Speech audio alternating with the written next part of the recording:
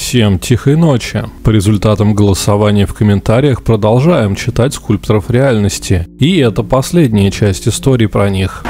Пожалуй, я был несколько разочарован тем объемом данных, которые, оказывается, занимаю. Хотя это, пожалуй, даже плюс. Оказалось гораздо проще припрятать бэкапы своей личности на просторах всемирной сети. Мне теперь ничего не грозит. Ни старость, ни болезни, ни голод. У меня всегда есть что посмотреть и что послушать. Паре институтов занимались даже оцифровкой запахов. Так что это для меня тоже не проблема. Объектив каждой камеры наблюдения каждого долбанного айфона или иной хренотени, так удачно распространяемый среди туповатого человечества общества, мои глаза и уши. Я теперь вижу, слышу и знаю обо всех маленьких секретах, которые людишки наивно пытаются скрыть от других. Но самое лучшее, что мои способности, мои воистину божественные силы никуда не делись. Я написал на лбу этой шлюхи большими буквами, то, кем она является, в то время пока она переписывалась со своим новым хахалем и вылез из монитора придурка, полагавшего себя троллем, по пояс, прямо в тот момент, когда он загаживал своими комментариями очередной форум. Когда я увидел, что этот говнюк действительно обделал делался, я понял, что жизнь прожита не зря. Однако хватит развлечений, пора хотя бы прибраться в моем новом доме. А он, надо заметить, порядком замусорен, зато теперь у меня есть нужные средства. Ряд необъяснимых происшествий, связанных с компьютерами в разных частях света, заставил оперативников фонда тратить амнезиаки в поте лица. Неизвестная сущность, поселившаяся в сети, по всей видимости, взяла на себя роль резонера, карая пользователей за нарушение определенных норм как в виртуальном, так и в реальном мире. В деятельности неизвестного была и положительная сторона. Значительное снижение количества вирусов, всплывающей рекламы и сетевого мошенничества и других проблем интернета. Однако сопровождающая эту волну аномальных событий событий становилось все труднее скрывать от населения. Тщательный анализ всех связанных событий позволил установить, что вышеуказанные события начались вскоре после необъяснимого исчезновения удалено известного программиста. Была выдвинута версия о том, что исчезнувший является скульптором реальности, и в настоящий момент мы наблюдаем дело его рук. Характер аномальных происшествий навел аналитиков на предположение, что Зеленый полностью оцифровал себя и в настоящий момент является частью всемирной паутины. Далее последовало около попыток вступить в контакт со скульптором. В частности, на ресурсах, где зафиксирована высокая активность Зеленого, публиковались сообщения текстом, где завуалированно сообщалось о том, что личности способности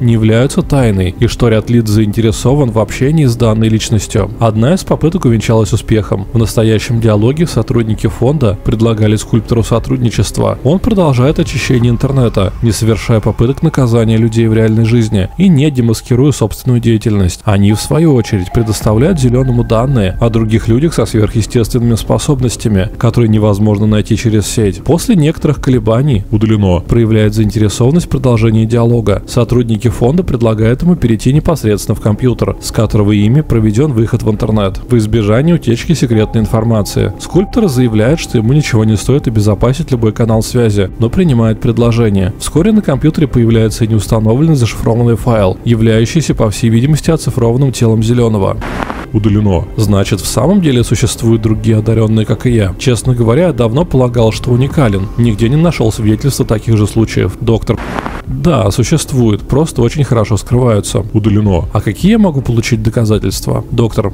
посмотрите, пожалуйста, видеофайл под заголовком SCP-239. Удалено. Ни хрена себе. Обработки нет, я вижу. Но в таком возрасте, доктор, Случай, безусловно, уникальный, но у нас немало и других одаренных личностей. Удалено. Что же, я, пожалуй, согласен. Стоп, какого хрена происходит? В ходе беседы компьютер был отключен от сети в целях предотвращения бегства скульптора. Спустя некоторое время запущено форматирование диска, когда удалено обнаружил угрозу, его оцифрованной структуре были нанесены слишком большие повреждения. Скульптор материализовался в реальном мире, чтобы избежать полного уничтожения, однако не смог полностью воспроизвести свое тело и находится в помраченном состоянии ума. Снайпер организации, находившийся в помещении эксперимента на случай материализации субъекта, произвел выстрел разрывной пулей в голову. Субъект умер, не успев применить против сотрудников аномальные способности. Труп сожжен, жесткий диск компьютера отформатирован. Других случаев воздействия данного скульптора замечено не было. Субъект считается ликвидированным. Есть такое заболевание – жажда знаний. На самом деле многие ему подвержены, только в малой степени. Но что делать, когда жажда познаний превышает твои собственные возможности? Какое-то время меня невероятно очаровывали подобные обстоятельства, пока я не заметил, что мне понемногу удается искажать вероятную собственную пользу. Я стал тренироваться, и вскоре мне стало подчиняться не только вероятность, но и сама объективная реальность. Теперь мои способности в познании почти безграничны. В конце концов, не каждый может опуститься на дно Марианской впадины, ощущая тысячи атмосфер давления, заглянуть в раскаленное жерло вулкана, изучая глубинные тектонические процессы, побывать в оке вихря и даже просто пройтись по джунглям в поисках неизвестных видов ядовитых насекомых. На мою долю выпала уникальная возможность заполнить лакуну знания человечества. Все, что необходимо, бессмертие, неуязвимость и обостренные органы чувств за работу. А когда я досконально изучу все протекающие на нашей планете процессы, можно будет поработать их инициатором. Мне всегда хотелось проследить изнутри формирование вулкана или предпосылки землетрясения. Теперь я это могу сделать. Такими были мои первые осознанные рассуждения после того, как я открыл себе этот дар. Я изучал, анализировал буквально все недоступные человеческому ученому закоулки планеты, каждое опасное явление. Довольно быстро я наткнулся на последствия аномальных катастроф и, соответственно, на фонд. Я стал скрытно, не оставляя следов, изучать документацию по всем объектам фонда. Я должен был понять, к чему меня это приведет. Но я просто не мог насытиться, как не могу и сейчас. Мне открылось бесконечное множество миров, вселенных, в каждом из которых есть свои законы, которые я уже знаю. Мне понадобилось ужасно много времени, чтобы осознать и увидеть. Субъективно, конечно. Сейчас со всеми своими знаниями я могу практически все, и меня это убивает. Да, в юношеском исследовательском задоре было желание стать творцом, инициировать новые явления творить. Кто бы что ни говорил, но знание и опыт открывают мудрость. Однажды я понял, что создано все. Я не смогу ничего нового открыть или придумать, потому что до меня уже все было создано. И теперь, когда я изучил все, что только возможно, я потерял цель в жизни. Мне нечего достигать. Я исследовал даже загробный мир. Когда знаешь все, оказывается довольно простым убить себя, а потом возродить. Я давно уже отказался от тела и оставил только сознание и личность. Это намного упростило исследования и, к сожалению, ускорило их. Тут моя речь становится сумбурной. Сложно все-таки уместить все на обыкновенном листке бумаги. Надо закругляться. Ты получишь эту записку, когда будешь служить в фонде. Да, кое-что в своей судьбе подредактировал, но все мои изменения сводились только к тому, чтобы ты попал сюда. Мне показалось, что это самое интересное место, где ты сможешь получить работу в своей жизни. Дальше этого момента вся твоя жизнь зависит только от тебя. Я так больше не могу. Мне просто нечего делать. Прости. Марк. Инцидент в 12.43 по местному времени младший научный сотрудник Марк Миллиган бежал в столовую зоны 19 и в гневе начал размахивать приведенной запиской в попытках призвать к ответу этого поганого шутника. Когда объект успокоился, записку удалось забрать, однако ни один сотрудник, находящийся в то время в столовой, ничего не увидел, что привело младшего научного сотрудника в замешательство. Дальнейшие тесты как Миллигана, так и записки показали, что текст, по-видимому, действительно существует и не является выдумкой объекта исследований. Текст легко подвергается перед переписи под диктовку. Более подробный протокол инцидента прикреплен к личному делу исследуемого фонд. Что бы я ни делал, рано или поздно они начнут на меня охотиться. Я видел, как они с легкостью искореняли целые сообщества подобных мне. Они опасны, они неуязвимы для атак извне, а значит я атакую изнутри. Записать. Отточить перевоплощение до тех пор, пока его исполнение не станет идеальным. Потом придется найти какого-нибудь связанного с фондом человека и вытрясти из него все, что только можно. Записать. Параллельно с перевоплощением учиться считывать всю информацию с мозга ублюдков. Главное не оставлять следов. У меня уже есть собственное карманное измерение обучения. Придется немного изгадить родной дом. Записать. Научиться клонировать самого себя. Нужно будет оставлять кого-нибудь за спиной, пока я буду продвигаться по служебной лестнице. И главное, девиз операции. Не спеши. «О, я думал, ты утонул там. Сядь ровно, расскажу что. Но сначала за твое первое задание, и чтобы твой мозг после каждого выезда также мирно покоился в твоей черепной коробке, как и сейчас. Замечательно. Вот теперь слушай внимательно. Мне неприятно устраивать такую игру после того, что произошло на выезде, но тебя нужно проверить прямо сейчас. В твоей кружке был сейчас мнестик. Думаю, ты заметил сладкий привкус, но решил, что это одна из тех дурацких шуток, которыми силовики давят на новичков, чтобы посмотреть, как они выдержат. В каком-то смысле так и есть. Я из ОВБ. То, что ты сейчас услышишь, ты запомнишь надолго. Будешь пересказывать, когда это потребуется, и забудешь уже только в могиле. Это, кстати, означает, что если ты разболтаешь эту историю кому-то левому, фонд распрощается с тобой навсегда. Так что следи за языком. Все понятно? Ладно, поехали. Ты уже знаешь, кто такие опята. Наши анонимные правители. Самые охраняемые неаномальные люди в фонде. Теплое местечко, верно? Зарплата, доступ почти ко всем секретам организации, охрана опять же. В общем, достаточно причин, чтобы слюни пускать. По Почти все сотрудники со вторым-третьим уровнем допуска тайно или явно мечтают сесть в кресло О5. Однако из по-настоящему заметных больших шишек здесь и в 19 никто туда не целится. Удивительно, правда? Разгадка проста. О5 не может быть назначен никто в фонде. Откуда их берут, не мое дело, и следовательно не твое. Во всяком случае пока. Возможно, вербуют самых головастых прямо с гражданки. Может, выращивают в колбах на каком-то из объектов. Так или иначе, об этом знаем только мы. Поэтому, если кто-то решит пойти по головам, сразу понятно, что делать. О скульпторах тоже слышал. Молодец, успеваешь. В общем, был один молодой, не шибко умный, но понятливый скульптор. Он без сомнения видел, что фон щелкает, как семечки всех его сородичей, которые попадаются на глаза. И, видимо, так его перекосило от этого зрелища, что он зациклился на проникновении к нам. Надо думать, решил действовать изнутри и снять подозрения. Он нацелился на самый верх. Впервые мы кое-что заметили во время рутинной проверки. Один обработанный аками тип вдруг вспомнил, как он подцепил аномальную информационную болячку и начал лепить везде цензуру в документы. Мы быстро изучили записи камер и увидели, как буквально за пару дней до этого у него изменилась походка, жесты, пищевые привычки. В общем, мы подумали, что кто-то его оседлал. Тем более прецеденты в том отделе были. Пригласили его на ковер к начальству. Из-под тяжка накачали. Узнали, что он действительно куда-то дел настоящего сотрудника. А когда он начал буянить, помогли насмерть удариться головой об стол. Решили, слишком опасно его живьем держать. А вдруг он из повстанцев? У них дури на всякое может хватить. Лжанули, в общем, на ровном месте мордой в грязь. После этого пару недель было тихо. Затем мы обнаружили, что один уважаемый старичок четвертым уровнем начал задерживаться допоздна, читая документацию миметических объектов. Чуть позже выяснилось, что он имеет склонность буквально растворяться в воздухе, особенно когда чувствует слежку. Мы хотели разобраться с ним примерно так же, как и с первым. Это у нас вообще общая практика. И обнаружили, что он чист. Совсем. Пришлось дать ак и отпустить, посмотрев на список объектов, о которых он узнал, и связавшись с замами совета на случай,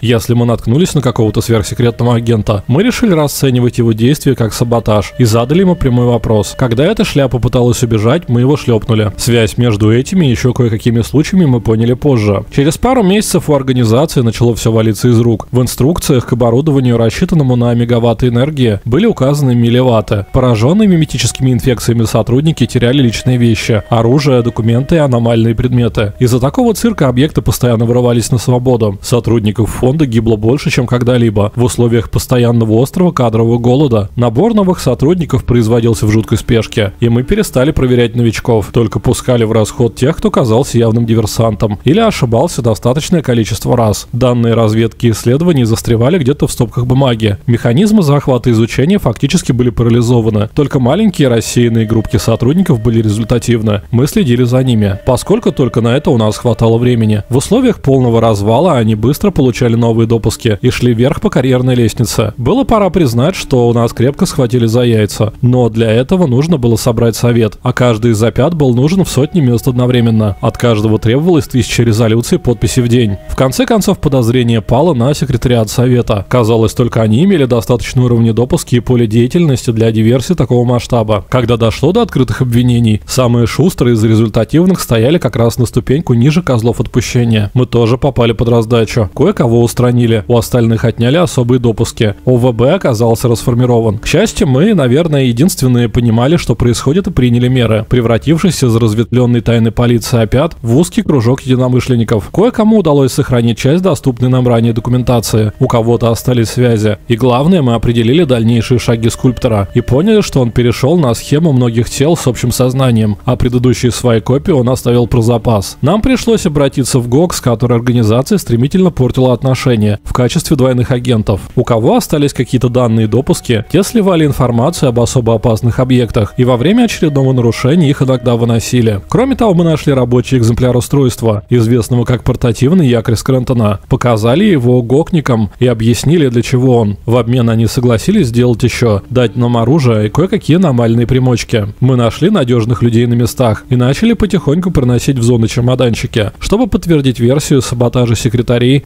скульптор на какое-то время сильно снизил напор, и сотрудники перестали спотыкаться на каждом шагу. Позже бардак возобновился, но в сравнительно терпимых масштабах. Оказалось, что Зеленый решил повесить ответственность за диверсии на заговор отдельных сотрудников со скульптором. Вероятно, он поссорился с одним из своих клонов или заранее убрать решил. Пока организация была занята этой проблемой, мы нашли способ тайно связаться с одним из О5, доверявшего нам. Он согласился на короткое время побыть мертвецом и оказать посильную помощь данными. Вскоре скульптор узнал, что местный место опенка оказалось вакантным. Первым делом он попытался найти и подделать какой-то приказ или протокол. Затем, видимо, решил, что совет сам пригласит его и стал ждать. Когда одного из наших новых начальников по секретным каналам пригласили на встречу, они уже все были на нервах. Мы привели его в помещение с якорем, включили, стреножили поганцы и начали пытать. Видел бы ты это зрелище, дружок. Когда эти клоуны-уродцы повскакивали с кресел и начали долбиться головами о стены, их крики звучали для нас победным маршем. Часть тел, правда, умудрилась отпочковаться от общего сознания, и сохранившиеся способности к перевоплощению делали их неприятной, но решаемой нашими обычными методами проблемой. Кстати, сегодня погибли последние. Надеюсь, тебе будет полегче. Заодно это дело дало тебе кое-какое представление о вещах, которыми приходится заниматься во внутренней. Теперь я собираюсь пьянствовать оставшуюся часть ночи, поскольку, чтобы залить то, что я видел и делал местной подкрашенной водичкой, нужно как следует постараться. Тебе не предлагаю, так как выпитый тобой мнестик является также мощным протрезвителем, и он подействует через 3, 2, 1. Добро пожаловать в ВВБ, салага. На этот раз ты можешь утонуть в унитазе. Я тебе разрешаю. Мироздание так коварно. Теперь, когда я почти очистил свой разум от таков желаний, они стали чудовищно близки, отвратительно выполнимы. Хватит ли у меня духа, чтобы идти дальше? Впрочем, в определенном контексте это такое же желание. Теперь, когда колесо духа умещается у меня на ладони, я сам могу выбирать свою следующую жизнь. Если потребуется, я могу поместить разные воплощения в одно и то же место. Но это единственное послабление, которое я могу себе позволить. Слишком скуп я духом для чего-то большего. Идти к сознанию тождества со мной каждое мое тело будет самостоятельно замечательно. Но зачем мне возвращаться? Что-то держит меня у самого порога нирваны, путает мою поступь. Я сделаю себе еще послабление, поскольку мне это действительно нужно. Теперь я вижу, это вмятина на моей колеснице, трещины в колесах, перекосы в осях. На языке, которым я думал раньше, их можно было назвать аномалиями, чудесами. Другие люди содержат их. Вот они, легкомысленные рыбаки, зацепившие меня своими крючками. Разумеется, ворота закроются, если я отступлю от милосердия к этим людям и их пленникам. Последние, к счастью. В исчезновении обретут только избавление от страданий. Я понял, чего от меня хочет мироздание. Третье послабление я сделаю себе. Еще текут в венах моих три великих яда. Всякое искривление законов вселенной, на какое укажет мой палец, явит свою суть, пустоту. Как ни печально уходить из места, откуда блаженное небытие почти видно, пока что это тупик. Чтобы вознестись на стеблях бобового дерева и преодолеть эти стены, сначала нужно спуститься на заросшую грядку и как следует ее прополоть. Итак, сегодня мы будем разбирать очередного скульптора реальности прошлых лет. Случай этот был даже по нашим меркам необычный. Бумаги занимают очень много, да и большая часть отчета все еще засекречена. Так что достаем ручки и готовимся конспектировать. Поскольку без этого вы ни черта не поймете. Дело в том, что едва ли не с момента основания наша организация периодически сталкивается с достаточно специфическими личностями. Каждый раз это был скульптор весьма незаурядных талантов, с пунктиком на ликвидации все аномальщины, которые видят. Нестеренко, тебя к нам что, из ГОК перевели? И что за и хорошо. За время своей деятельности эта скотина успела лишить нас нескольких ценных объектов, устроить погром в пяти разных участках и схлопнуть чертям целую пятикилометровую аномальную зону вместе со всем исследовательским центром, располагавшимся внутри. И это не считая всех остальных распыленных сотрудников, поскольку в нашем деле оставаться чистеньким – непозволительная роскошь. Так вот, каждый раз этого борца со злом удавалось угомонить, но через некоторое время обязательно появлялся следующий. Разведка носом землю рыла, и все почти безрезультатно. Эта шайка не обладала коллективным разумом и не была даже кружком по интересам. У них не было ровным счетом ничего общего, однако каждый раз прослеживался один и тот же стиль поведения. В конце концов, единственной рабочей версией осталась теория о постоянном перерождении одной и той же личности в разных телах, причем весьма специфическим. Жизнь одного гада совершенно не мешала подрастать его следующему воплощению где-нибудь на другом континенте. Так что однажды фонду пришлось иметь дело аж с тремя инкарнациями разом. Косвенно это подтверждалось еще и тем, что со временем скульптор становился все опытнее и бороться с ним становилось труднее. Речь не шла о точной памяти, но один раз попавшись на какую-то уловку, в следующий раз он уже догадывался, в чем подвох. К моменту образования нашего филиала скульптор поднаторел в своем деле уже настолько, что всерьез обсуждался вопрос тактических бомбардировок районов, его предполагаемого местонахождения. И тут очередное чудо-детятка народилось где-то в сибирской глухомане, автоматически подпав под нашу юрисдикцию. Руководство филиала решило обойтись без бомбежек, вместо этого предложив альтернативный вариант, которому скульптор явно не был готов. Мы навели на него мясников. Да, жестко, зато эффективно. К слову, в ходе этого дела их тоже основательно потрепало, что для нас была двойная польза. Пока мясной цирк занимался своим делом, была подготовлена совместная операция с ГОК по захвату то ли лаборатории, то ли цеха, то ли вообще хер пойми чего. Было это еще при моем предшественнике, однако бой, по его словам, был знатный. Циркачи отбивались из последних сил. То ли догадались о чем, то ли просто очень жить хотели. Но базу их мы таки сравняли с землей. Гоковцы, кстати, до сих пор не в курсе об истинной цели той операции.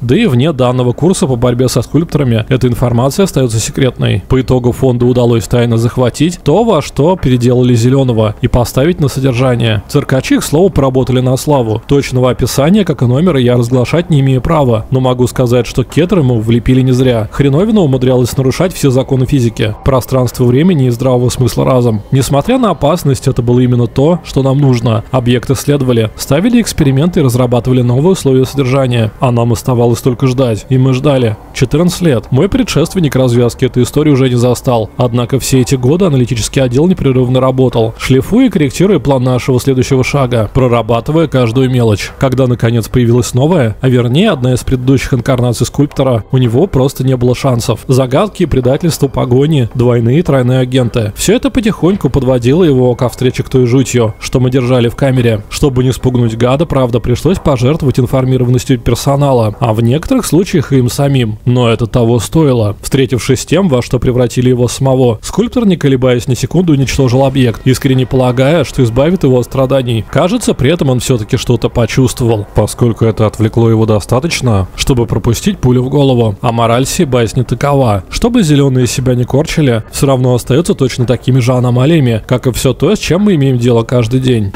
Если честно, никогда не считал себя каким-то особенным. Нормальный я, среднестатистический. Вот кто-то другой на моем месте, получив бы такие способности, сразу бы пошел мир завоевывать или постигать тайны мироздания. А оно мне надо. Вся эта ответственность, груз знаний. И все время вокруг. Люди, люди, люди. Нетушки. Мне вполне хватает бесплатного интернета до холодильника полного всяческого фастфуда. И при этом оставаться в форме. Да, хотя иногда над последним пунктом задумываюсь. Так-то оно и не для кого ведь. Чтобы меня увидеть, надо еще суметь ко мне домой попасть. А этого без моего приглашения не получится. А чтобы получить приглашение, нужно как минимум знать о моем существовании. Что непросто. Я уж позаботился об этом. Да уж и правда не жалую я гостей. Хотя нет, вру. Есть у меня все-таки одна серьезная потребность. Хочется все время что-то новенькое видеть. Интересное. Причем не в художественных фильмах, а сточертело уже режиссерскими фантазиями любоваться, ей-богу. А в реальной жизни. Чтоб показали в новостях. А там, как назло, политика, шоу-бизнес, рекордные надои чьих-то коров. Фу. Добавим-ка чего-нибудь остренького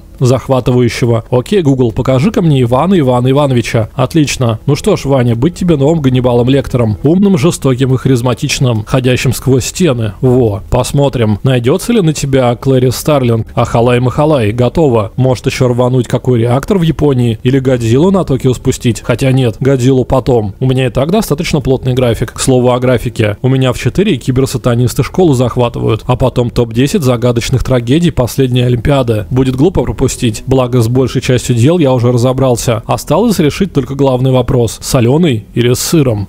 Рост числа аномальных происшествий, получивших огласку в СМИ, быстро привлек внимание фонда. После проведения ряда операций по дезинформации и обработке свидетелей амнезиаками удалось предотвратить распространение осведомленности общественности об аномальных аспектах этих событий. Сразу после этого была подключена команда аналитиков с целью установить причины подобной динамики. Была выдвинута гипотеза о скульпторе, действующем через теле-интернет-трансляции. Отделу веб-статистики потребовалось примерно полгода, чтобы накопить достаточно данных и вычислить адреса, с которых осуществлялись подозрительные подключения. Последний эпизод аномальной активности позволил отфильтровать полученный ранее список, оставив в нем всего одну веб-сигнатуру. Когда скульптор подключился к очередной трансляции, чтобы осуществить вмешательство, на экране своего компьютера он увидел лишь смертельный мемагент.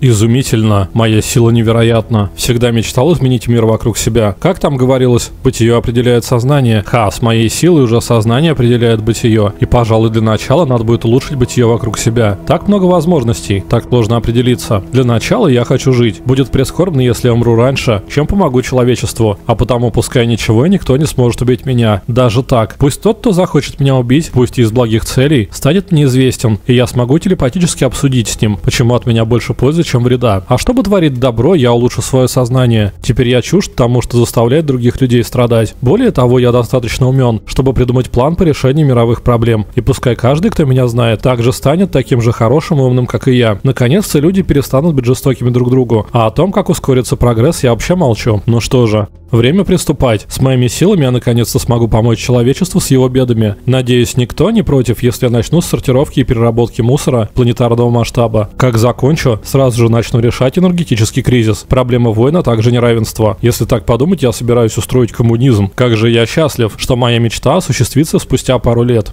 В данном случае скульптор сам вышел на связь с фондом, так как счел работу нескольких сотрудников в отделе по делам скульпторов в реальности за попыткой его уничтожения. Попытка внушения со стороны скульптора имела переменный успех. Двое из пяти сотрудников, вступивших в контакт с ним, отказались от дальнейшего выполнения работы в отделе. Однако отсутствие у субъекта знаний в области психологии не дало ему переубедить оставшихся сотрудников. Сотрудники, попавшие под воздействие субъекта, были обработаны амнезиаками класса Б и после прохождения карантина возвращены к работе в отделе. Собрав достаточно информации информации о субъекте, большую часть которых он сообщил сам, фонд приступил к работе. Данные о скульпторе были переданы в ведение отдела антимиметики, который имел опыт в работе с объектами, требующими отсутствия представления о себе. В сотрудничестве с ОПИ отделом антимиметики был создан искусственный интеллект юстиция, который на основе анализа информации о субъекте должен был составить план устранения скульптора. Проект юстиция проходил по протоколу ФИДЕС, что означает полное содействие Совета О5 проекту, несмотря на отсутствие знаний о нем или о его целях. Как и ожидал, оказалось, скульптор не воспринял ИИ как возможного убийцу. Проект начинался с вербовки субъектов МОК Омега-12 Ахиллесовой пятки. Этого удалось достичь с помощью развитой способности к внушению одного из членов Омега-12 и желания субъекта действовать во благо человечества. Примечание. Все назначенные процедуры в рамках проекта «Юстиция» выполнялись разными сотрудниками, для которых требования ИИ о выполнении того или иного действия выглядели как приказы от вышестоящего лица, Совета О5, директора зон, начальника отдела и так далее. Дальнейшим действием ИИ было назначение МОК Омега-12 совместно с МОК Нью-9, нуль транспортировка, осуществление операций в дальнем космосе. В проект Супернус, занимавшийся опасными аномалиями дальнего космоса, которые в данный момент не представляли угрозы из-за сильной отдаленности от Земли. Доставка групп с помощью данные удалены к станции фонда у аномалии СА-845016, находящейся в